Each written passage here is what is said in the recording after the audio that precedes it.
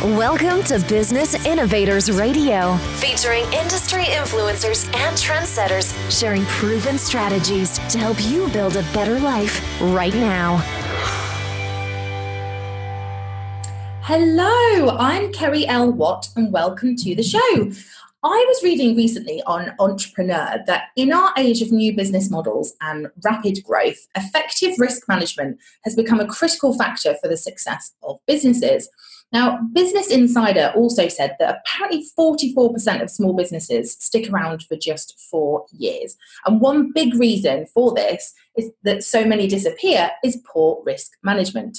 Now, my guest today has some fascinating insight into risk and value management, and that's exactly what we're going to talk about. So please welcome Karlene Agard to the show. Welcome, Karlene. Carrie, thank you so much for having me. Oh, I'm so happy. I love that. so let's go back to that statistic of 44% of businesses failing and risk management being a big part of that. Does that surprise you at all? No, it doesn't. I think uh, for a lot of small businesses in particular, they don't really understand risk management. They don't know how to incorporate it. It seems really complicated for them. So I think to a certain extent, it's quite neglected. And even in larger organizations, it's not always dealt with in the most effective way. So, um, and when you don't address risk, it it leads to problems so occurring. So, I'm not surprised to hear that. No. Mm. And can you tell us what what value management means? Because I'm not particularly sure myself. So, I'd love to hear in your words what what that's all about. So, value management is about getting the most out of the resources you have. There's actually a, uh, a ratio which is value is your benefits or functions divided by your resources. So typically your resources are cost or time. It's about maximizing that ratio. So you get more out of what you more of what you want out of the resources that you have available to you. Oh wow, that's really interesting. I presumed it was probably something like that, but I was like, I'm not really sure. I'm going to ask. what's um, and can you tell us what's the what's the biggest misconception or myth that businesses have around risk management? Well, I think it probably it may vary depending on the size of the organization. So in large organizations you've got this misconception that it's just a tick box exercise it's something you do satisfy um, your auditing and statutory requirements where whilst in larger in small organizations i think it may be a case that um, they don't really understand it and, therefore therefore they don't do it mm. And what what led you to go into this field? What what was it about it that, that drew you to it? Well, I I was actually working in Network Rail as a change project management assistant, and as part of that, I'd done some training in risk, and I was also running some risk workshops. And I saw a secondment as a risk and value analyst, and I thought, oh, that looks interesting. Um, it talked about the opportunity to help projects succeed, um, to help them understand their exposure and take action to prevent any, anything negative arising, make sure that things that are more positive do occur and they get the outcomes that they want. Um, and also, I've always had quite an analytical way of thinking. Maths was one of my strongest subjects throughout my, uh, academic history. And so I thought it, it, seemed like an interesting role to go for, and, and I was right. it's been great. Yeah, that's really interesting actually when you say about the, the analytical side because i guess that's a big that's a big part of it right? Yes yes it is. And what led you to actually start your own business as well? It's all like it's just so different isn't it? Like being a project manager in a in a large organization to going out solo. So what led you to to start that? So I working as a risk and value analyst, I really loved what I was doing. So I got to run workshops to help get the largest projects uh, set up correctly. So make make sure they're really clear on what the outcomes that they need to achieve. So rather than just doing the same thing that they've always done, they can consider other options, more innovative options for achieving their outcomes, which could actually also save them money and potentially save them time. So I really enjoyed doing that, helping them to understand not just the risk to delivery, but also the risks that come from delivering the project for the organisation itself. And was able to work on some of the largest projects because I had a talent for risk management and value management in particular, which uh, went recognised in the organisation. So I received uh, an award there and also was nominated for awards in, with external bodies. So it was just something that I really loved doing and was passionate about. And I later came back to it and said, you know, this is the thing that I've I've really most enjoyed in my career. So I thought, why don't I start a business doing that so that I'm able to do as much of that as, as, as. Yeah, I love that. I just, I always love hearing how people started and like what their story is. I just think it's fascinating. Oh, thank you. and um, and you you mentioned before about doing workshops as well, and I is is that something that you do quite a lot? Is it not just the traditional consultancy done for you? Uh, are lots of companies sort of looking to workshops and and training now? Yeah, workshops are a really effective way of of getting things done. So, I think the key is in the preparation. So, if you have if you can speak to the key stakeholders beforehand, have a really clear idea of what it is that you need to get out of the workshop, and then get the right people in the room so that you can get the knowledge that you need from them, and also do any preparation, both as a facilitator, myself, uh, other people who who are providing the inputs. Make sure that they fully uh, that they've got the information they need. So at, at the workshop, you're able to make decisions to get things done and, and move things forward. But workshops are, are a really effective way of um, of getting things done. Mm, I love that, and I think when when people invest in the in those one day or or couple of days, whatever it is, workshops and that training, they're then more likely to kind of take action, aren't they, and actually make stuff happen. Yeah, I completely agree. Mm. And you're a speaker as well. You you speak at various events, and and we were. Um, I've known you a little while, and we were talking before about um, a a talk that you have coming up at the time of recording. It's it's uh, next week, um, and I love the title of this talk. Right, it's called "From Failure to Forbes," and I just think brilliant. Like, just says what it is, and and massively. Like, if I was going to an event and I saw that, I'd be like, "What is that?" Like, I'd be so intrigued. So, what can you just tell us about that story and and why why you're talking about it next week? Sure. So normally, what I do in when I'm speaking at, at, events is that I'll speak about risk management, I'll speak about value management, I'll speak about starting mega projects effectively. You know, those are my core topics within my discipline. But um, this time, I this time I was asked to speak on the the topic of empowering self. So the it's the 25th anniversary of the Women in Project Management Association. Uh, sorry, within the Women in Project Management group within the Association for Project Management or APM, and that the theme of the conference is empowerment, which I think is an, an excellent topic. Now, I, I, I was asked to speak in the empowering self stream, so I uh, this is you know not the easiest thing for me to do because I'm going to have to be a bit more vulnerable. But I'll be talking about my uh, my personal story. So, uh, just to give you a quick overview, I was a super nerdy all throughout school. Um, when I was in, when I was eight years old, my teacher said, "Karlene, you know, she needs to read less and she needs to socialize more." oh, this wow. is kind of, yeah. So that that was school. I, I was very nerdy. I um, wanted to do the best. I really enjoyed school. Then I went to university. So I went to the University of Warwick, and I I really struggled there. So I didn't I, I procrastinated a lot. I, I struggled with depression and I did not do well in my degree. So I was really disheartened. And that was the point at which, although I didn't actually fail in my degree, I really felt like a failure.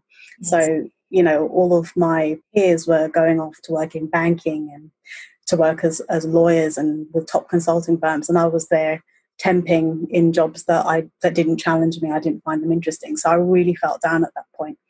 But I could have um, just said, you know, there's no hope for me.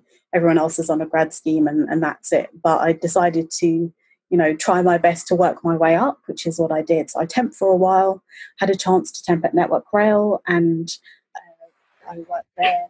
And then I was able to turn that temporary job into a permanent job. And then I received uh, two promotions within three years and worked my way up. So I worked as a change management assistant, which was really interesting and I enjoyed it. I worked as a risk and value analyst where I, I found my, I really found my stride. And like I mentioned earlier, I was able to um, build up my skill set such that I got to work on the most exciting projects within the portfolio. Um, and after that, I went to Transport London, where I worked as a risk manager.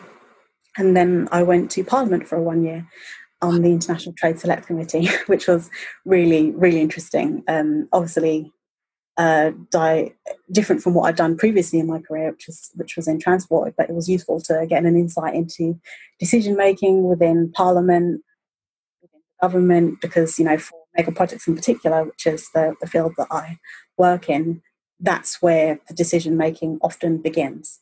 And then I started my own company because, like I said, I, I really want to, uh, I, I love working on mega projects and helping to start them up for success using risk and value management. So I wanted to find a vehicle where I could do that as much as, as possible. Wow, that is incredible. I have to say, I'm a little bit jealous about the uh, Parliament thing. That's was amazing. was it actually cool though? Because I bet loads of people go, "Oh wow," you know, like when I used to travel loads for work, people would be like, "Oh, that's amazing," and I'd just be like, "No, I just want to go home." Like, was it actually really cool? it was. I mean, you, would walk around the Palace of Westminster and you'd see these politicians that you recognise, um, and also the palace itself is is a beautiful environment. And just being uh, in the seat of power, as it were, is is really interesting, and learning how things work there. I really enjoyed it. Mm. And I think um, I, I really picked up on what you said about failure, and and I think a lot of people can resonate with that. That, like you say, you didn't actually fail technically on paper, but you kind of felt like because you didn't the best that you potentially could have, that you felt like a failure. And I think it's so many people can resonate with that. And I think it's incredible that you're sharing your story in you know on the platform of speaking. I think I think people will get a lot from that. And it's so easy isn't it to to look at what other people are doing and not feel like you're getting anywhere isn't it?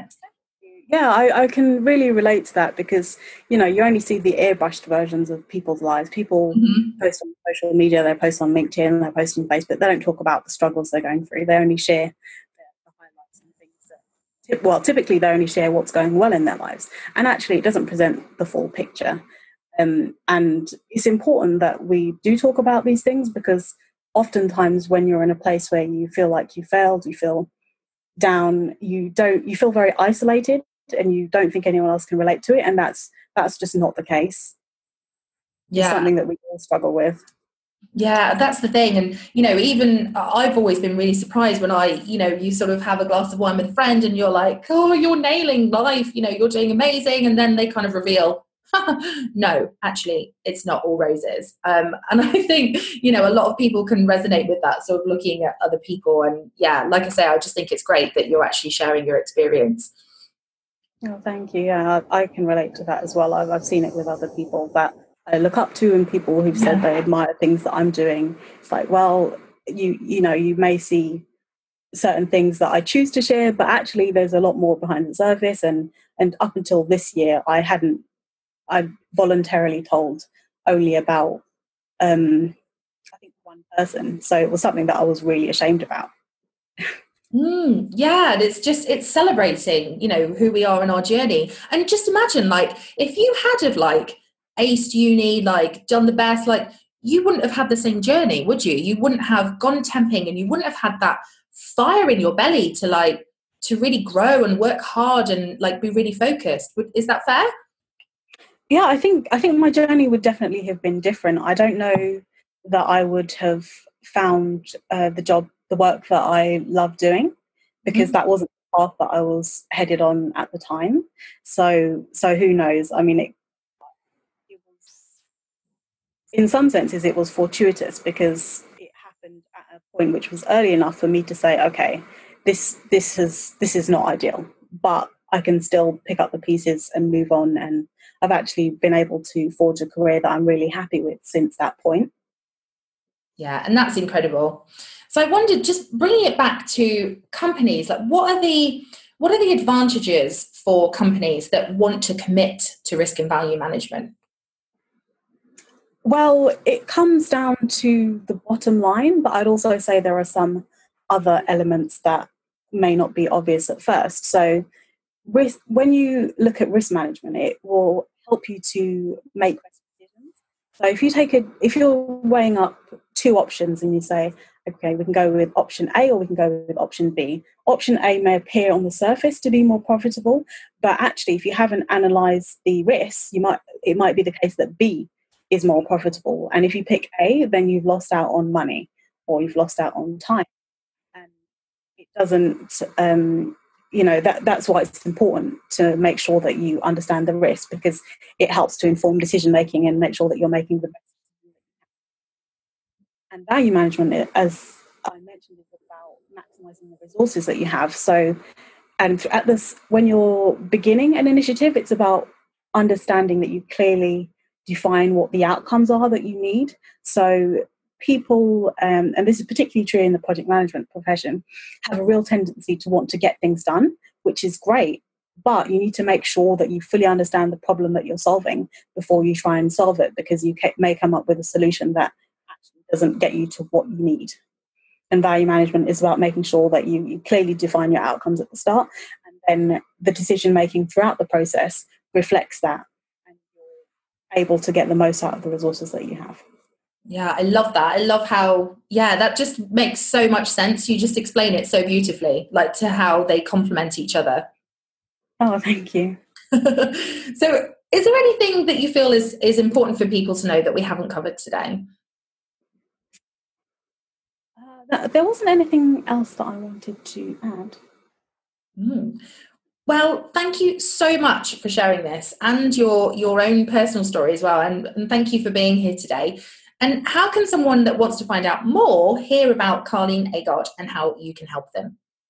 I really appreciate you having me on the show. Thank you so much, Kerry. Mm-hmm. Um, in terms of staying in touch, I'm available on different media as Karlene Agard. So I'm on Twitter with Karlene underscore Agard, Karlene Agard on LinkedIn, um, and in terms of my company, Aravun, if you're working on a mega project or project management and you'd like my help, I'm available on aravun.com. So Aravun is A-R-A-N or Alpha, Alpha Victor November.com or on Twitter it's Aravun Ltd and LinkedIn it's Aravun and uh, Facebook it's, it's Aravun Ltd.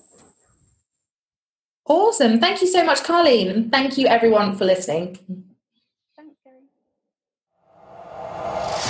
Thanks for listening to Business Innovators Radio. To hear all episodes featuring leading industry influencers and trendsetters, visit us online at businessinnovatorsradio.com today.